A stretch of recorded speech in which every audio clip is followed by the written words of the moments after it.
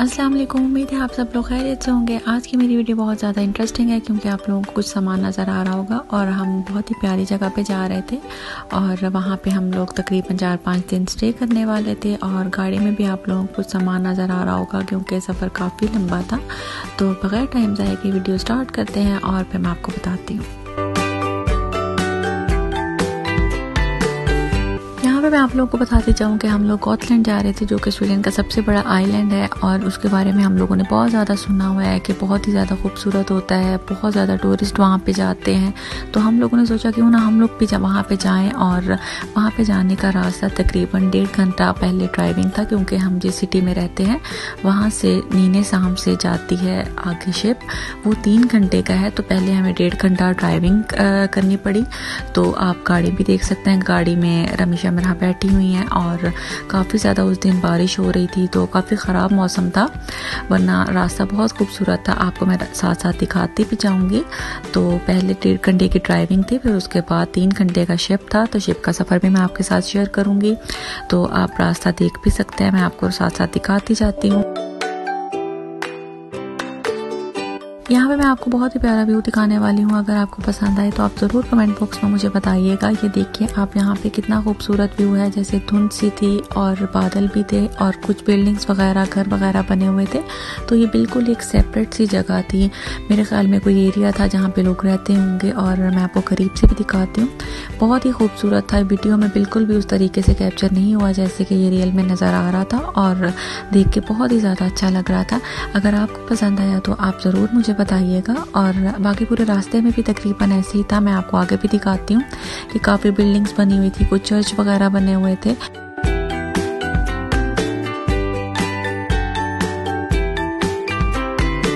से हमारा गाड़ी का सफ़र तो ख़त्म हो गया था। अब मैं आपको दिखाती हूँ कि शिप में हम लोग कैसे गए, कैसा शिप था, कैसे अंदर गाड़ी जाती है और कितनी गाड़ियाँ उस शिप में जाने के लिए तैयार थी।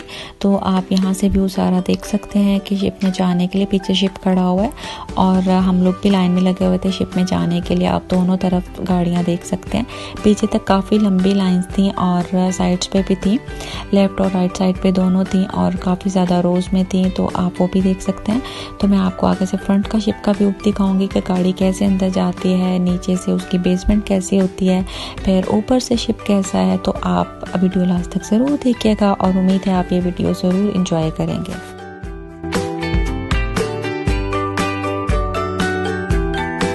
से शिप के एंट्रेंस स्टार्ट हो चुके हैं। आप देख सकते हैं शिप का फ्रंट से व्यू और साइड से ऊपर गाड़ियाँ भी जा रही हैं, जो कि मेरे ख्याल में सेकंड फ्लोर पे जा रही होंगी या थर्ड फ्लोर पे जा रही होंगी। मुझे इस चीज़ का आइडिया नहीं है, लेकिन हम लोग सबसे लास्ट फ्लोर पे थे। और आप देख सकते हैं हमारी गाड़ी भी अंदर जा रही है। तो अंदर कुछ गाइड करने के लिए साइड्स पे सिक्योरिटी गार्ड्स वगैरह भी थे कि आप अपनी गाड़ी यहाँ पे खड़ी करें क्योंकि बहुत ज़्यादा और गाड़ियाँ भी थी और ऑब्वियसली वो गाड़ी के हिसाब से बताते हैं कि कौन सी गाड़ी किस जगह पर खड़ी होगी और काफ़ी ज़्यादा बड़ा एरिया था। आप देख सकते हैं अंदर वीडियो में से।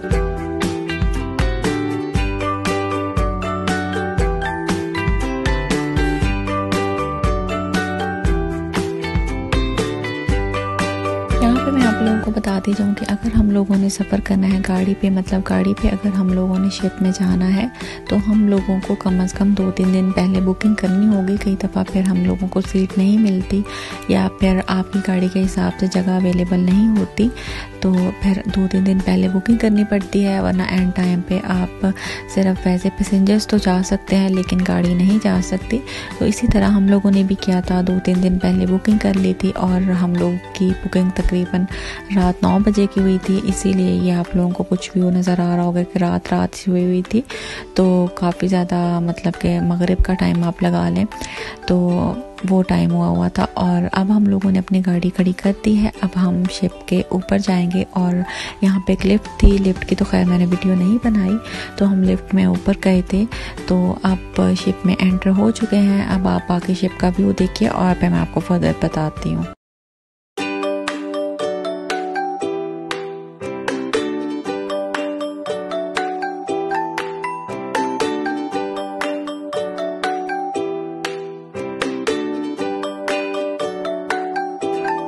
लोग ऊपर तो आ गए थे। अब हम अपनी जगह देख रहे हैं कि हमारी सीट किस जगह पे है और यहाँ पे हम लोगों की सीट थी क्योंकि ये थोड़ा सा बच्चों वाला एरिया था। तो हम लोग की बुकिंग यहाँ पे हुई हुई थी, लेकिन हम लोग यहाँ पे नहीं बैठे क्योंकि ये काफ़ी कंजस्टेड सी जगह लग रही थी और रमेशा मेरा ऑब्वियसली बाहर खेलना चाह रही थी तो फिर हम थोड़ी देर के लिए बाहर चले गए थे।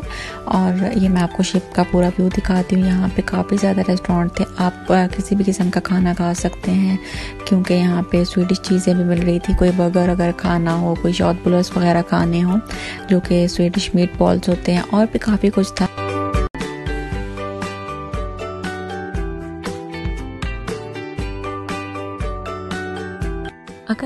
कभी शिप का सफ़र किया है तो आप ज़रूर मुझे कमेंट्स में बताइएगा कि आप लोगों को शिप का सफ़र कैसा लगता है, क्योंकि मुझे तो शिप का सफ़र बहुत ज़्यादा मज़े का लगता है, क्योंकि हम लोग डेनमार्क से स्वीडन और स्वीडन से डेनमार्क काफ़ी दफ़ा शिप पे गए हैं और वो तकरीबन हाफ़ आवर का शिप होता है।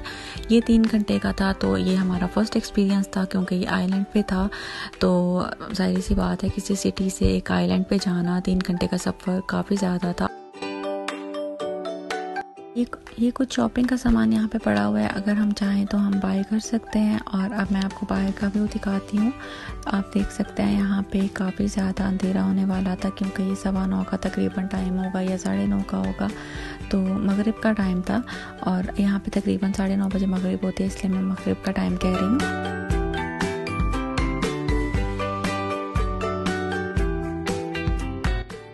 अब हमारा शिप तो स्टार्ट हो चुका है, आप पानी का फ्लो भी देख सकते हैं और ये काफ़ी कंफर्टेबल सफ़र होता है शिप के अंदर क्योंकि बिल्कुल भी इंसान को फील नहीं हो रहा होता कि हम शिप में बैठे हुए हैं और नॉर्मली ऐसे लग रहा होता है जैसे कमरे में हैं हम लोग। और अब मैं आपको शिप का व्यू दिखाती हूँ, ऊपर से भी जाके और अंदर से भी दिखाती हूँ कि अंदर से शिप कैसा था सारा। तो सबसे पहले हम लोग जाएँगे स्टेयर्स पे स्टेयर्स से जाके फिर हम लिफ्ट लेंगे, फिर मैं आपको आगे बताती हूँ।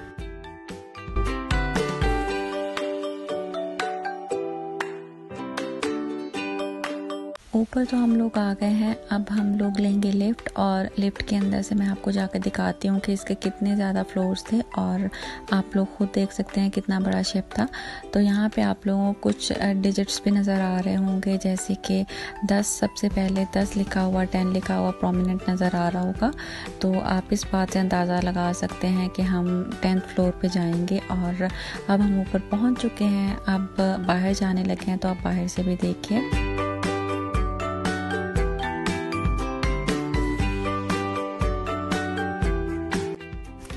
शिप का ओपन एरिया स्टार्ट हो गया, आप देख सकते हैं टेबल्स ही टेबल्स लगे हुए हैं और अगर मौसम अच्छा हो तो ज़ाहिर सी बात है यहाँ पे बहुत ज़्यादा रश होना था और मैं आपको ज़रूर दिखाती कि यहाँ पे कितना लोग ऊपर आकर इंजॉय करते हैं और कुछ रात का टाइम भी होने वाला था, इसलिए लोगों ने ज़्यादा नीचे रहना ही प्रेफर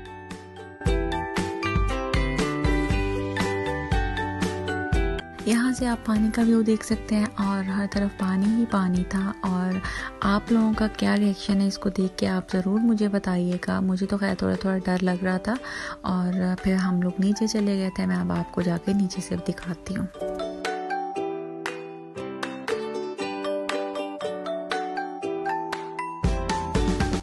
रमेशा मेरा ने खेलना स्टार्ट कर दिया है क्योंकि शिप के अंदर प्ले एरिया भी बना हुआ था बच्चों का और आप देख सकते हैं थोड़ा सा जैसे कि उन्होंने शिप का ही थोड़ा सा टेक्सचर दिया हुआ है और इन लोगों ने थोड़ा सा अब खेला और क्योंकि ज़ाहिर सी बात है बंदा सफ़र करता है तो बच्चे तो सबसे ज़्यादा बोर होते हैं।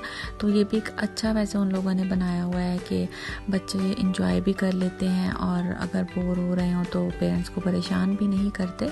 तो अब ये थोड़ा सा खेल रही हैं तो अब आप इनकी बातें भी सुने। Helping me. Stop helping me. You want to drink water? No, I drink water. You want to drink juice? No, I drink water. Okay. Drink water. You thirsty? You drink water. Yeah. Yeah, yeah, yeah, cutting, cutting. The paper a.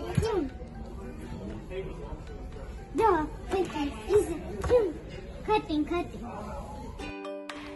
इन लोगों की शरारतें तो आप लोगों ने देख ली हैं। अब ये चॉकलेट और कैंडीज़ खाने लगे हैं, जो कि मैं अपनी लास्ट वीडियो में आप लोगों को दिखा चुकी हूँ कि मैंने कैसे बाई की थी और कैसा हम लोग को सारा दिन गुजरा था। अगर आप लोगों ने वो वीडियो नहीं देखी तो अभी जाइए और मेरी वीडियो ज़रूर देखिए। और अब मैं आपको शिप का व्यू दिखाती हूँ कि सिटिंग एरिया कितना प्यारा बना हुआ था और बहुत ही कम्फर्टेबल जगह थी जहाँ पर हम लोग बैठे हुए थे और यहाँ पर हम लोग रूम भी ले सकते हैं।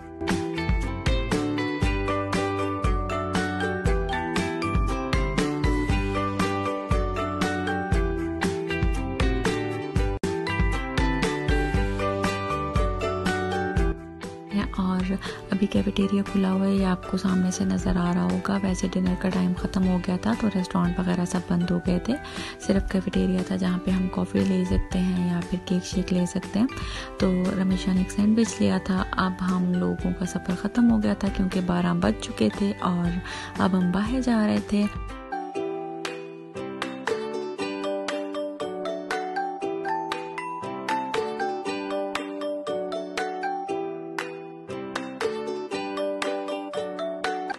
फाइनली हम लोग कॉटलैंड पहुँच चुके हैं और रात के बारह बजे का टाइम था। अब हम लोग शिप से बाहर जा रहे हैं और अब कॉटलैंड का आगे का सफ़र मेरे साथ एंजॉय करने के लिए चैनल को सब्सक्राइब ज़रूर कर लें अगर आप इस चैनल पे नए हैं। और अगर वीडियो पसंद आई है तो लाइक शेयर और कमेंट करना मत भूलिएगा। और आप बेल आइकन का बटन दबा दें ताकि आपको मेरी वीडियो के आने वाले हर नोटिफिकेशन मिल सकें और आप भी मेरे साथ सफ़र इंजॉय कर सकें। तो उम्मीद है इन नेक्स्ट वीडियो में बहुत जल्द मुलाकात होगी। अपना बहुत ज़्यादा ख्याल रखिएगा thank you so much for watching अल्लाह हाफिज़